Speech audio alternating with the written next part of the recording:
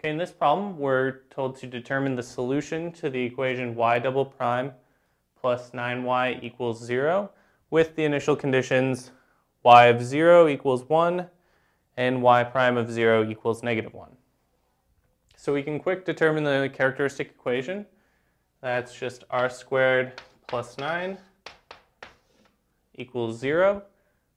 Solve for r. We see that r is equal to plus or minus 3i. And then we know that the general solution to this equation is then y of x is equal to e to the real part of this complex roots, which is 0, x times cosine of 3x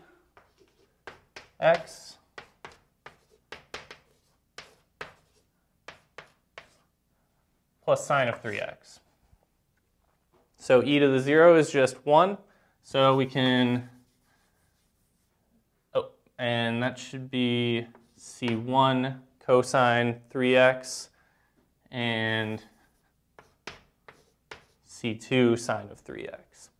So we see that our general solution is c1 cosine 3x plus c2 sine of 3x.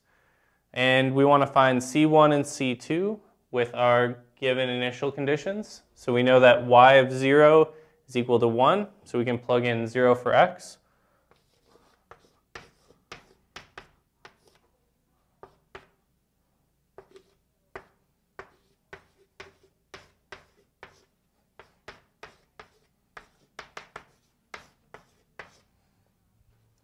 Cosine of 0 is 1, sine of 0 is 0, so the second term is 0. And we see that C1 is equal to 1. And so we can, we'll write that up here.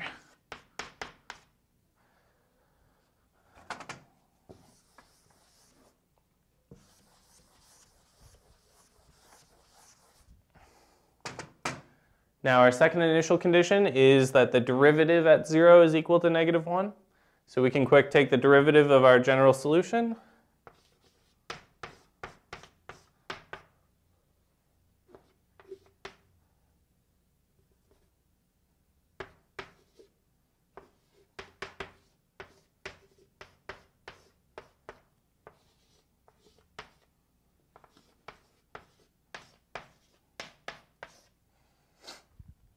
And we get that y prime of x is equal to negative 3c1 sine of 3x plus 3c2 cosine 3x.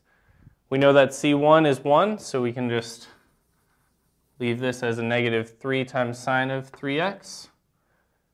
If we plug in for x equals 0, we get sine of 0 is 0, so this first term is 0.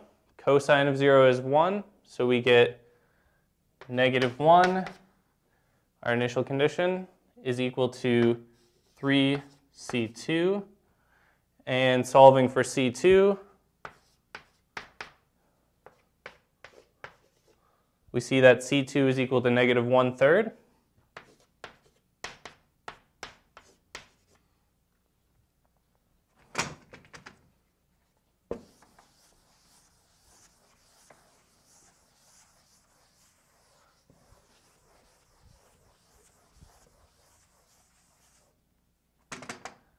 So now we're just going to plug in our constants, C1 and C2, into our general solution, and we get our solution.